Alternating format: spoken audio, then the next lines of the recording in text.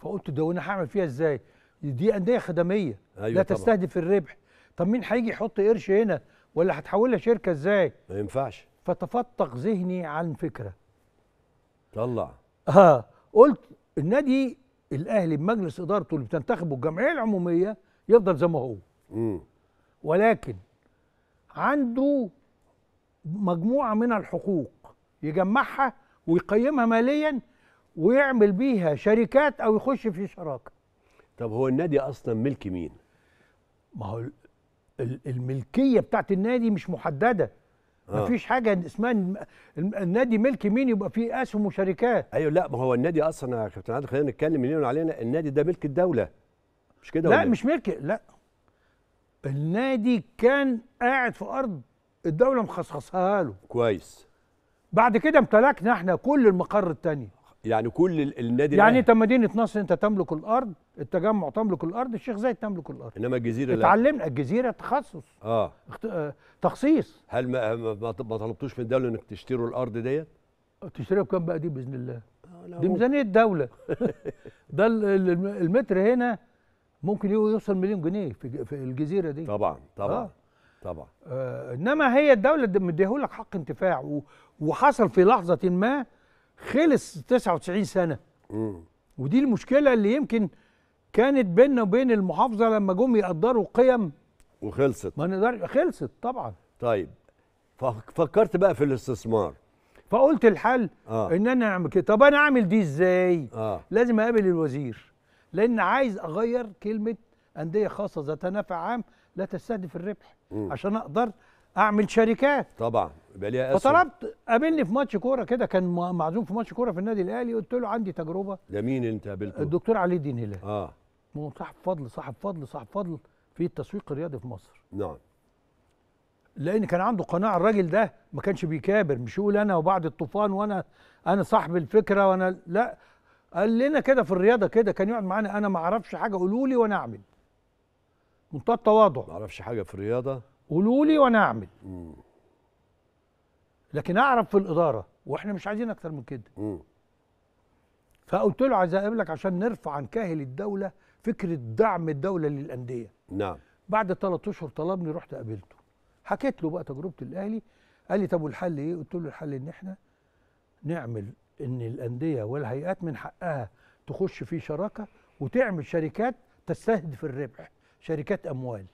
راح نادي طلعت جنيدي رحمة الله عليه كان رئيس جهاز الرياضة جهاز قال له الرياضة.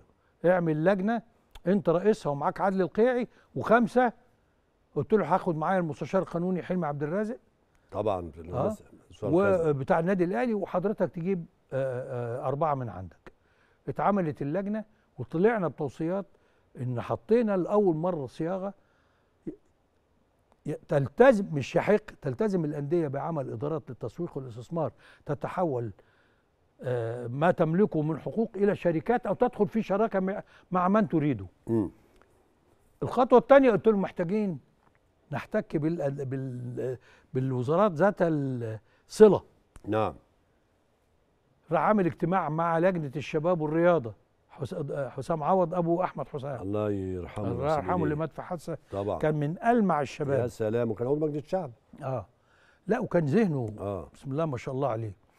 ورحنا عملنا اجتماع مع ست وزارات المالية التربية والتعليم التعليم العالي الإعلام التضامن الاجتماعي وزارة الشباب والرياضة وعملنا خدنا من كل وزارة الأجزاء اللي ممكن تساهم بيها في الرياضة. نعم. وأصبح في توصية وافق عليها مجلس الشعب. يعني أنا بستغرب ساعات يقول لك إيه عايزين نغير عايزين كل المفاد دي موجودة في مجلس الشعب. روح حطها في القانون. حطها في القانون. واخلص. ووافق مجلس الشعب على إن الأندية تعمل كيانات تستهدف الربح. وأنا بقى الحتة اللي كانت محل زمزقة شوية الدكتور علي أنت بتفكر في الأهلي؟ قلت له طبعا. أنا جيت لك عشان بفكر في الأهلي.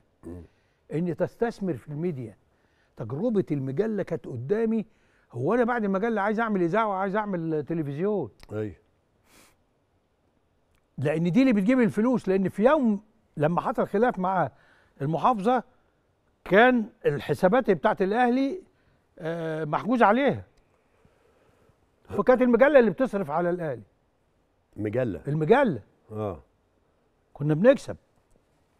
فقلت الله الاستثمار في الميديا بقوة الأهلي ده لو تلفزيون وإذاعة أيوه تقلب الدنيا. فقلت له يحق للانديه الاستثمار في في التلفزيون. قال لي يا عدلي دي هتفتح فتوحة.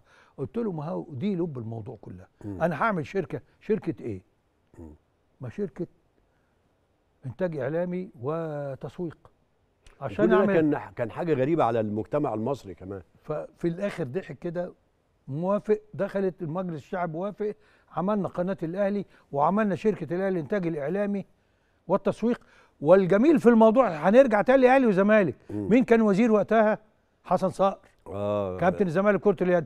مين ال- المدير التنفيذي للاتحاد؟ كابتن مدحت البلتاجي. الاثنين كنت أنا مدير فريق قومي. وعضو اتحاد وهم معايا.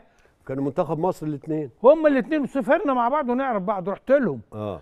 ومدحت البلتاجي ساعدني جامد جدا لحد ما جاب لي موافقة الوزارة على إنشاء شركة الاهلي للانتاج الإعلام والتسويق اللي أسفرت على إنشاء خمس شركات للنادي الاهلي بعد كده. منها